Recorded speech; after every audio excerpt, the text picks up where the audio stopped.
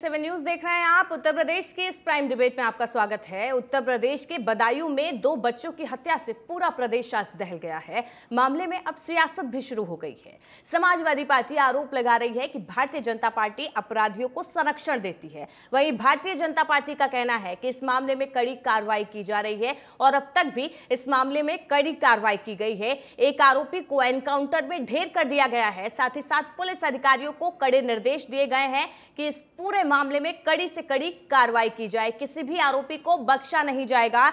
ये सीएम योगी आदित्यनाथ ने आदेश दिए हैं। वहीं सपा आरोप लगा रही है भारतीय जनता पार्टी पर कि बीजेपी दंगा फसाद कराकर अपनी राजनीति चमकाना चाहती है। इस पूरे मुद्दे को सांप्रदायिक रूप दिया जा रहा है, क्योंकि आरोपी मुस्लिम है और जिन बच्चों की हत्या की गई है वो हिंदू समुदाय से आते हैं। ऐसे में ये बड़ा आरोप समाजवादी पार्टी बीजेपी पर लगा रही है। बीजेपी का कहना है कि बदायूं की घटना पर सपा घटिया राजनीति कर रही है। अगर सपा की सत्ता होती तो अपराधियों को संरक्षण होता, जबकि योगी सरकार में हमेशा अपराधियों पर बुलडोजर चला है। योगी सरकार में अपराधियों के खिलाफ कठोरता से कार्रवाई होती है। बदायूं कांड में भी अपराधी के साथ पूरी कठोरता बढ़ती गई है। उन पर कड़ी कार्रवाई की जा रही है। अब ऐसे में सवाल उठता है कि जिस प्रदेश में मुखिया यानी योगी आदित्यनाथ के नाम से अपराध का अपराधी कांपते हैं और पुलिस के नाम से भी अपराधियों में एक डर है। वहाँ पर इस तरीके से दिन दहाड़े दो मासूमों की हत्या कर दी जाती है और पुलिस हालाँकि अपना काम कर रही है, लेकिन विपक्ष इस पर भी अपना, अपनी राजनीति रोटियाँ सेकने की कोशिश कर रहा है। इसी पर आज चर्चा करेंगे। इसी पर चर्चा करेंगे, हमारे साथ कुछ मेहमान भी जुड़ेंगे, लेकिन सबसे बड़ा सवाल यह है, क्या इस मामले पर भी समाजवादी पार्टी राजनीति कर रही है और क्या ये मुद्दा वाकई अपनी राजनीति चमकाने का है? क्योंकि योगी आदित्यनाथ पहले ही कह चुके हैं कि इस मामले में आरोपियों पर कठोरता बढ़ती जाए। एक आरोपी का एनकाउंटर कर दिया गया है, उनको एनकाउंटर में ढेर किया गया है। दूसरा आरोपी फरार चल रहा है, जिसकी तलाश में पुलिस जुटी हुई है। तो बदायूं हत्याकांड में सियासत तेज हो गई है। सत्ता पक्ष और विपक्ष में वार पलटवार भी देखने को मिल रहा है। एक तरफ़ एक माँ ने अपने दो मासूम बच्चों को खो दिया है। पुलिस कार्रवाई कर रही है। आरोपियों को कड़ी सजा देने का आश्वासन दे रही है। पीड़ितों को आश्वासन दिया जा रहा है कि जो भी आरोपी हैं, इस पूरे मामले में उनको बख्शा नहीं जाएगा। हालाँकि ये अभी तक सामने नहीं आ पाया है। पुलिस इस मामले में कुछ भी कहने से बच रही है कि ये हत्या आखिर की क्यों गई है। साजिद का इनकाउंटर हो चुका है और मामले में जो दूसरा आरोपी है, जावेद, वो फरार हो चुका है। आरोपी के पिता और चाचा को हिरासत में लेकर पूछताछ की जा रही है, लेकिन समाजवादी पार्टी बड़ा आरोप भारतीय जनता पार्टी पर लगा रही है। इसी पर चर्चा करेंगे, लेकिन उससे पहले किस तरीके से इस पूरे मामले पर सियासत हो रही है और राजनेताओं का क्या कुछ कहना है, उनके क्या कुछ बयान सामने आए हैं, वो आपको सुनवाते हैं। भाजपा की अनर्गल अलाप है दो बच्चों की मौत किसके अंदर अंतर्गत हुई? भाजपा का सांसद है, भाजपा का विधायक है, भाजपा की सरकार है, भाजपा का नगर निगम नगर निगम में मेयर है भाजपा का जिला पंचायत सदस्य है, भाजपा की थाना है, भाजपा की पुलिस है, और आरोप विपक्ष में लगाते हैं। शर्म आनी चाहिए। हज़ारों लगातार बलात्कार हो रहे हैं। उत्तर प्रदेश में हर एक दो तीन मिनट में एक बलात्कार हो रहा है। उत्तर प्रदेश में लगातार जो है बच्चों के पेपर लीक हो जा रहे हैं, उनके भविष्य से खिलवाड़ हो रहा है। छोटे बच्चों की हत्या की जा रही है। और वो वहाँ बैठ के बयानवीर की तरीके से बातें बोल रहे हैं। दुर्भाग्य है कि समाजवादी पार्टी की सोच किस तरह से एक घटना हुई है बधाइयों में। परिवार के साथ उनको संवेदनशीलता दिखानी चाहिए, ना ही इस पे राजनीति करनी चाहिए। और राजनीति भी क्या कर रहे हैं? सांप्रदायिकता की, क्योंकि उनका वोट बैंक एक चलता है। जहाँ पे कोई व्यक्ति एक घुसता है वो घुस के अंदर बच्चों की हत्या करता है और उसके अंदर वो सांप्रदायिकता ढूंढ रहे हैं। मैं पूरी तरीके से अस्तब्ध हूँ, दुखी हूँ। मेरे पास शब्द नहीं कि मैं उस घटना का वर्तसना और निंदा कर सकूँ। जितनी की जाए वो कम। मुझे एक चीज़ ज़रूर कहनी इस मामले में कि अपराधियों को और इसमें सहायक लोगों के खिलाफ कठोरतम कार्रवाई होनी चाहिए। घटना दुखद है। छोटे बच्चों की हत्या इस तरह से निश्चित तौर पे मन को दुखी करने वाली ऐसी घटनाएँ होती हैं। पुलिस अपना काम कर रही है। त्वरित कार्रवाई हुई है। मैं समझता हूँ कि दूसरे मुलजिम की भी तलाश तेज़ी से हो रही है। और बहुत दिन वो भी कानून के हाथ से बच नहीं सकते।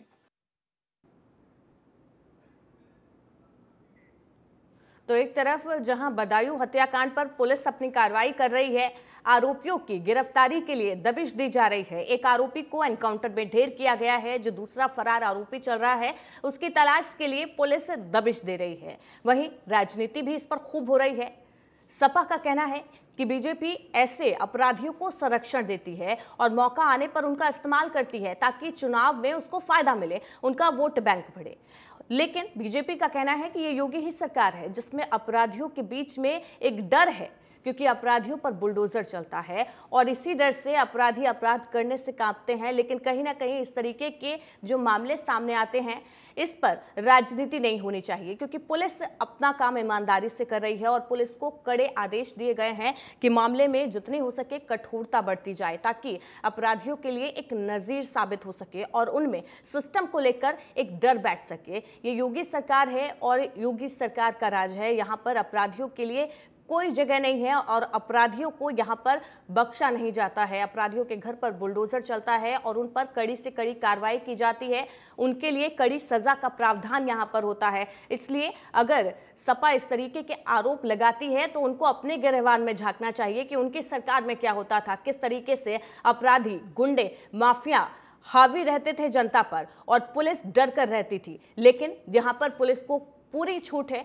खुली छूट है, अपराधियों पर कार्रवाई करने को लेकर और सिस्टम को स्वतंत्र किया गया है ताकि वो अपराधियों पर कड़ी और कठोर कार्रवाई कर सके और इस मामले में भी कड़ी कार्रवाई की जाएगी अपराधियों पर। लेकिन समाजवादी पार्टी इस पूरे मामले को सांप्रदायिकता का रूप देना चाहती है, सांप्रदायिकता का रंग देना चाहती है, जो पूरा नहीं होने दिया जाएगा।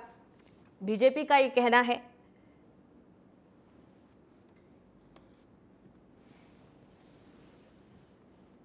तो बदायूं हत्याकांड पर सियासत तेज होती दिख रही है। विपक्षी नेताओं के तमाम बयान सामने आ रहे हैं। कांग्रेस का कहना है कि इस घटना के बारे में कुछ भी कहने के लिए शब्द नहीं है। इसी पर चर्चा के लिए हमारे साथ हमारे मेहमान जुड़ गए हैं। उनका तारुफ आपसे करा देती हूँ। धर्मेंद्र कुमार सिंह हमारे साथ जुड़ गए हैं। सपा प्रवक्ता हैं। इनके अलावा नीरज मेहरे हमारे साथ जुड़ गए हैं। वरिष्ठ पत्रकार है आशीष तिवारी, बीजेपी नेता और Gyan Prakash Chaturvedi, retired IPS officer हमारे साथ जुड़े हुए हैं। आप सभी का बहुत बहुत स्वागत है और चर्चा की शुरुआत मैं आपसे करना चाहूँगी धर्मेंद्र कुमार जी। आपको क्या लगता है बदायूं हत्याकांड ये जो हुआ है क्या इसमें सरकार की ना आ, नाकामी है? जिस तरीके से आप इस पर राजनीति करना चाह रहे हैं सिस्टम को तो पूरी छूट दी गई है कि आरोपियों पर कठोरता बढ़ती जाए उन पर कड़ी कार्रवाई की जाए। लेकिन जिस तरीके से आपके नेता बयानबाजी कर रहे हैं इस पूरे मामले को सांप्रदायिकता का रंग आप लोगों ने दे दिया है। पूजा जी सबसे पहले तो बदायूं में जो घटना हुई है हम्म। ये सही है निशब्द हूँ। इतनी गंभीर वारदात को शब्दों में इसकी निंदा नहीं की जा सकती। हम्म। सवाल यहाँ ये है कि इसको सांप्रदायिक रंग जाति रंग जब देने से ज़्यादा ज़रूरी था ये देखते कि विकृत मानसिकता का अपराधी है। जिसने भी ये किया है उसको सिर्फ़ अपराध की निगाह देखना चाहिए था उसको उचित दंड मिलना चाहिए था। तो पुलिस आपके हिसाब से काम नहीं कर रही है। पार्टी जब चुनाव आता है हम्म। तो ऐसी घटनाओं को प्रमुखता से उठा करके इसको लोगों के बीच धार्मिक रंग दे करके उसका लाभ लेना चाहती है इसका पुराना सगल है। ये आप भी देख रहे हैं। जब यहाँ चुनाव का समय चल रहा है दौर चल रहा है तो ऐसे में जब प्रधानमंत्री जी के बाद ये स्मार्ट सिटी बनी कि नहीं बनी गंगा साफ़ हुई कि नहीं तो जो दुर्दशा है बनारस के अंदर हुई आपने देखा ही होगा किसान की आय दोगुनी हुई कि नहीं हुई इलेक्टोरल बांड पर किस तरह से पैसा दो धंधा लो के तर्ज पर सुबह जाती है ईडी छापा मारती है और शाम को दूसरे दिन तीसरे दिन जो है करोड़ों रुपया भारतीय जनता पार्टी के अकाउंट में इलेक्टोरल बांड के माध्यम से पहुँच जाता है जो भारत के इतिहास में सबसे बड़ा भ्रष्टाचार का नमूना है। लेकिन किस तरह से भारतीय जनता पार्टी उसके नेता सारे घटनाओं को अपराध को भी राजनीतिक रंग देते हैं धार्मिक रंग देते हैं जिससे जिससे इनका चुनाव में फ़ायदा हो सके। रंग तो आप दे रहे हैं ना। बयानबाजी आपकी तरफ़ से हो रही है कि दोनों समुदाय अलग अलग थे। बयानबाजी नहीं बयानबाजी कोई नहीं सिर्फ़ ये पूछा गया कि अगर इसके पीछे की क्या मंशा थी अगर उसको पकड़ के पूछताछ हुई होती घटना का अनावरण हुआ होता तो पता चल जाता। कहीं न कहीं हमको तो ये एहसास होता है भारतीय जनता पार्टी इनकाउंटर करके इसके पीछे कुछ छुपाना चाहती है जिस तरह फर्जी इनकाउंटरों की बाढ़ आई। दूसरी बात जो सबसे बड़ा सवाल है कि भारतीय जनता पार्टी की सरकार जब से आई है लगातार अपराधी छोड़ देंगे अपराधियों को इनकाउंटर कर देंगे। उत्तर प्रदेश के मुखिया जिस तरह से गलत शब्दों का उपयोग करते हैं। लेकिन देखने में जो प्रैक्टिकल रूप से दिख रहा है गलत शब्दों का भारतीय जनता प्रयोग पार्टी करते के हैं? उत्तर संरक्षण प्रदेश के नीचे बताएँगे लगातार अपराधी यदि सारे अपराधी धर्मेंद्र जी, हमारी बात पूरी हो जाए ये सारे कौन से अपराधी गलत शब्दों का प्रयोग करते हैं? 30 सेकंड। बताइए जरा। बस तीस सेकंड। हम्म। अगर सारे अपराधी उत्तर प्रदेश छोड़ चुके हैं तो ये अपराध करने वाले कहाँ से आ रहे हैं? जिस तरह से समाज में नफरत पैदा कर रही भारतीय जनता पार्टी इसका जवाब लगातार वर्गों आशीष में जी से। आशीष जी क्या कहेंगे आप? आप तो कहते हैं कि यूपी अपराध मुक्त हो चुका है लेकिन बावजूद इसके ये जो तस्वीरें सामने आती हैं इस तरीके की तस्वीरें तो आपसे सवाल उठेंगे और पूछा जाएगा कि क्या वजह है अपराध मुक्त प्रदेश में इस तरीके से अपराध होते हैं जहाँ पर दो मासूम बच्चों की हत्या कर दी जाती है? देखिए पूजा जी माननीय मुख्यमंत्री जी ने साफ़ तौर पर ये कहा है कि अगर कोई भी उत्तर प्रदेश के अंदर में इस तरीके की घटना करने का दुस्साहस करेगा तो अगले चौराहे पर यमराज उनको खड़े मिलेंगे। हम्म। जिस तरीके की ये घटना का अंजाम बंदाइयों में दिया गया है हम्म। एक अ, नाई जो जो बाल काटने का काम करता है वो अपनी बीवी के प्रेगनेंसी के लिए पाँच हज़ार रुपए उधार मांगने के नाम पर घर पर जाता है। और ऊपर जो दो बच्चे हैं उनका गला काटने का काम करता है। निश्चित तौर पर ये इसके पीछे का आपको कारण और ये वही कारण है जो लगातार विपक्ष फैलाना चाहता है समाज के अंदर। जातियों के नाम पर बात करके धर्म आधारित बात करके। आप देख लीजिए समाजवादी पार्टी के हमारे मित्र अभी बहुत लंबी चौड़ी बातें कर रहे थे।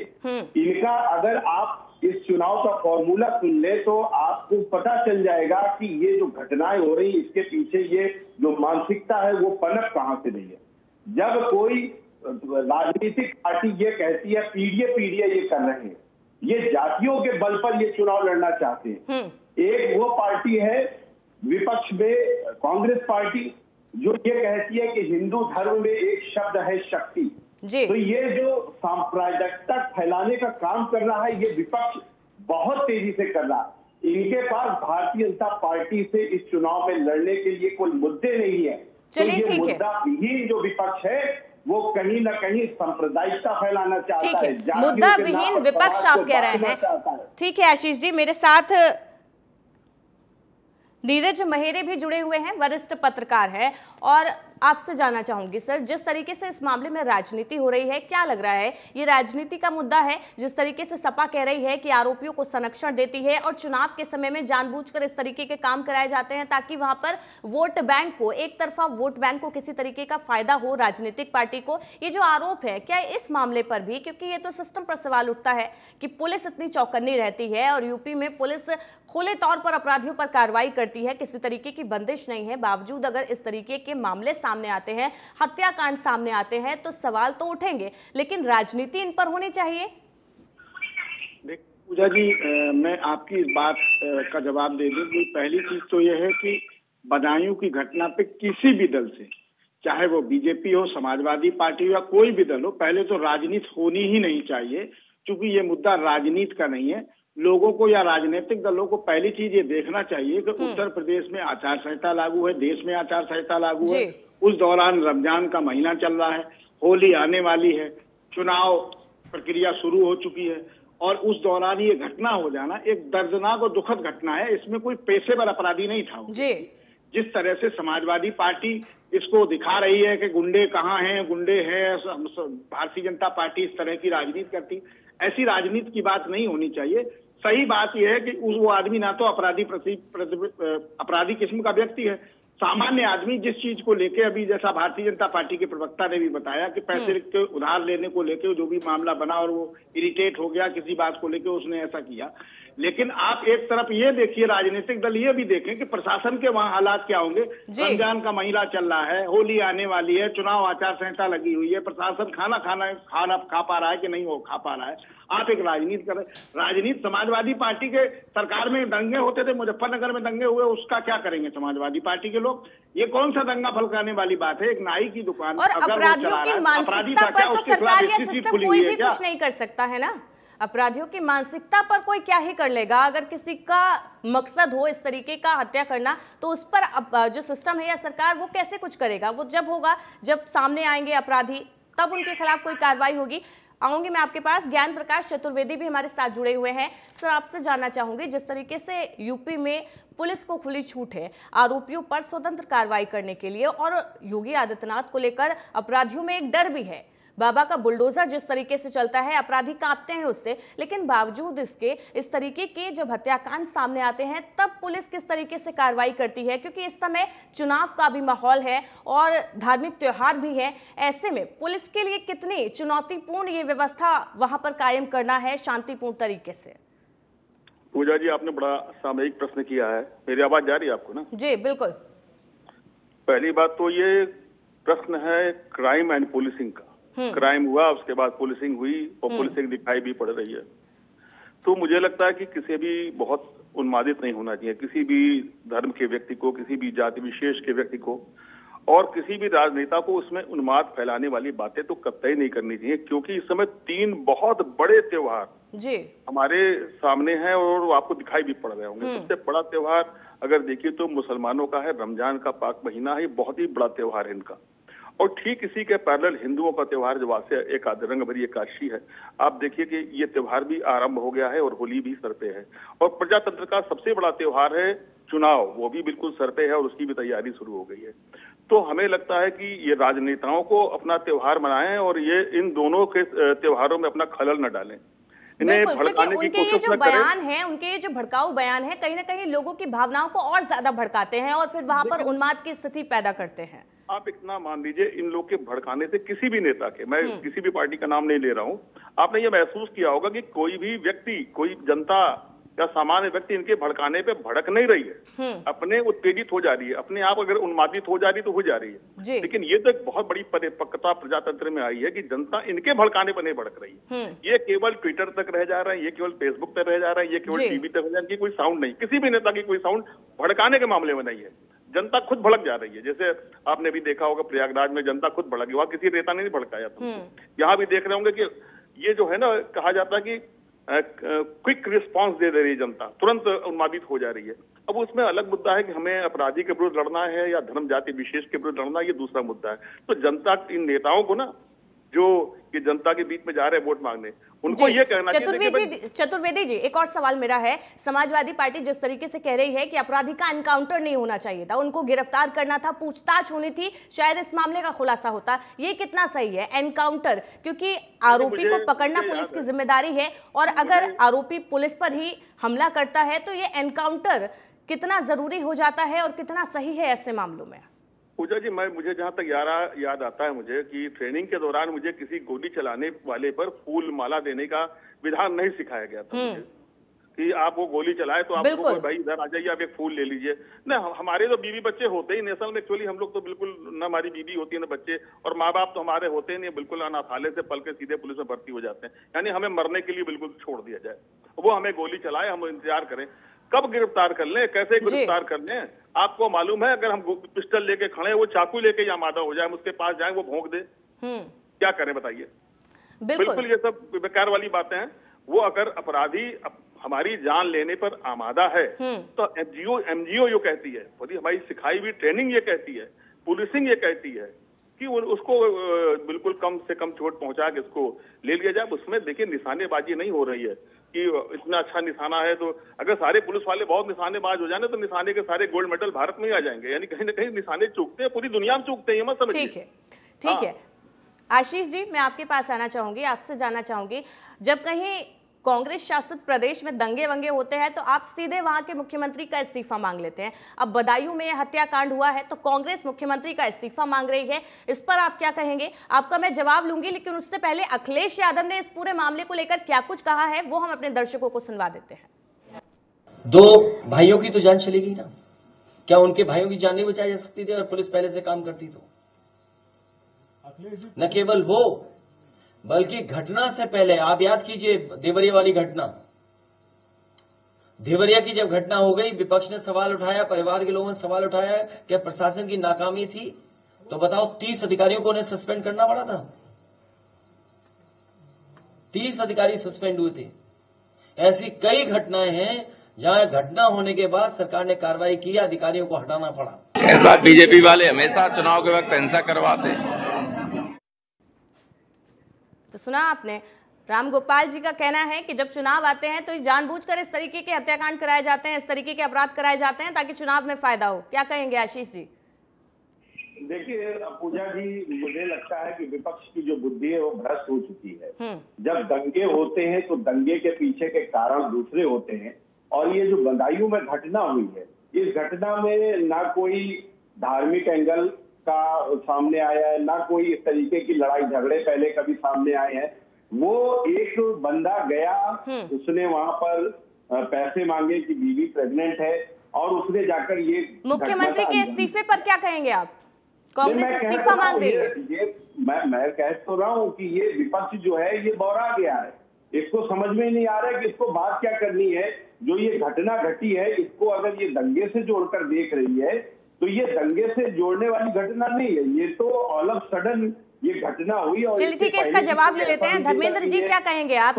आपके पास वाकई कोई मुद्दे नहीं बचे हैं जो इस तरीके के हत्याकांड में भी आप अपनी राजनीतिक ज़मीन तलाश रहे हैं। धर्मेंद्र जी जल्दी से जवाब दे दीजिए। पूजा जी अभी हमारे साथी हमारे वरिष्ठ ज्ञान चतुर्वेदी जी बता रहे थे कि कोई नेता नहीं उठा रहा जनता ही गुस्से में आ जा रही है तुरंत कार्रवाई कर दे रही है उसका कारण है जब से भारतीय जनता पार्टी सत्ता में आई है देश के अंदर अमन चैन समाप्त करने का काम किया है। लोगों में आम जनता में इतना गुस्सा है कि उसका भरोसा पुलिस प्रशासन से और इस सरकार से उठ गया है। जब इस तरह की घटना होती है चाहे आप देवरिया देख लें चाहे ये घटना हुई अभी देखिए हरियाणा में क्या हुआ जहाँ तक दंगे की बात है मणिपुर में क्या हुआ है। क्योंकि उसका सरकार से भरोसा उठ चुका है तो जनता खुद फैसला कर देना चाहती है। उत्तर प्रदेश के अंदर कई घटनाएँ हुई जहाँ पुलिस वालों के ऊपर जनता ने जो है हमला कर दिया, किस तरह से एक इंस्पेक्टर की हत्या भारतीय जनता पार्टी के लोगों ने कर दी थी। देखिए, सबसे महत्वपूर्ण है कि जनता का विश्वास कायम करना। यह सरकार जनता का विश्वास कायम चलिए ठीक है ठीक है कितना विश्वास जनता का कायम है और कितना जनता का विश्वास खो दिया है? चुनाव में जनता खुद तय करेगी। ज्ञान प्रकाश जी मैं आपसे एक जवाब चाहूँगी छोटा सा। जिस तरीके से सिस्टम पर सवाल उठ रहा है इस पूरे मामले को लेकर आपको क्या लगता है सिस्टम की कितनी खामी यहाँ पर है? देखिए इनकाउंटर के विषय में पूजा जी एक बात समझ लीजिए किसी तरह का भी कोई भी इनकाउंटर होता है उसकी बड़ी जाँच की प्रक्रिया होती है। उसमें कोई भी होता बचता नहीं। आपने अभी देखा होगा कि एक इनकाउंटर के मामले में बंबई के बहुत नामी ग्रामीण अधिकारी को आ, सजा मिल गई आपने आज के पेपर में देखा भी होगा। और हमारे यहाँ भी एक शाहजहांपुर या पीलीभीत के मामले में भी सजा हुई है। आपने देखा होगा कोई मामला पुलिस तो बिल्कुल बच ही नहीं पाती अगर उसके द्वारा कोई गलती या चूक की जाती है। इसकी मजिस्ट्रेटियल जाँच होती है उसके बाद सीबीसीआईडी की जाँच होती है वो बड़ी ही टफ प्रक्रिया वो सीबीसीआईडी तो एक ऐसी ऐसी एजेंसी है जो पुलिस वालों को बिल्कुल बख्शने के मूड में रहती है बिल्कुल निष्पक्ष जाँच करती है। तो निष्पक्ष जाँच में जब सारी चीज़ें आ जाती है तो पुलिस वालों को जब अच्छी तरह मालूम है मुझे कोई बचाएगा नहीं नेता बचाएँगे नहीं उसमें पार्टी के लोग बचाएँगे नहीं क्या जो चंदा मिलता है पार्टी के लोगों के पुलिस को इनकाउंटर में पैसा देंगे? क्या आप अपना इनकाउंटर का मुकदमा लड़ लीजिए पूछिए इनके पास फंड में ऐसा किसी पार्टी के पास पैसा है? तमाम इनकाउंटर हम पुलिस वालों ने किए हैं। एक पैसा नहीं देते हैं सारे अधिकारी बच्चे सड़क पर आ जाते हैं हमारे। कि कुछ नहीं, सब ये बेकार वाली बातें हैं। बहुत सोच समझ के कोई इनकाउंटर नहीं होता है प्लान के साथ। घटना हुई, घटी, गोली चली कहीं पुलिस वाला मरा कभी वो मरा। ठीक है। चलिए इस मामले में भी पुलिस कार्रवाई कर रही है अपनी। पुलिस को भी खुले आदेश दिए गए हैं कि कठोरता बढ़ती जाए अपराधियों को किसी भी तौर पर ना बख्शा जाए। आप चारों का बहुत बहुत शुक्रिया हमारे साथ जुड़ने के लिए चर्चा में साथ देने के लिए। तो एक तरफ़ जहाँ एक माँ ने अपने बेटे को खो दिया राजनेता इस पर भी सियासी ज़मीन सेक रहे हैं। अपनी सियासत चमकाने के इरादे में है। एक तरफ़ योगी सरकार जो आरोपियों को लेकर पुलिस अधिकारियों को साफ़ निर्देश दे चुकी है अपराधियों पर कड़ी सजा का प्रावधान किया जाए, अपराधियों के लिए एक नजीर सेट किया जाए ताकि आगे कोई भी अपराधी अपराध करने से पहले कांपे। अब देखना होगा कि पुलिस किस तरीके से इस मामले में आगे कार्रवाई करती है और पीड़ित परिवार को कब तक इंसाफ दिलाती है। फ़िलहाल के लिए मेरे साथ इतना ही। लगातार खबरों के लिए देखते रहिए टीवी ट्वेंटी न्यूज़ के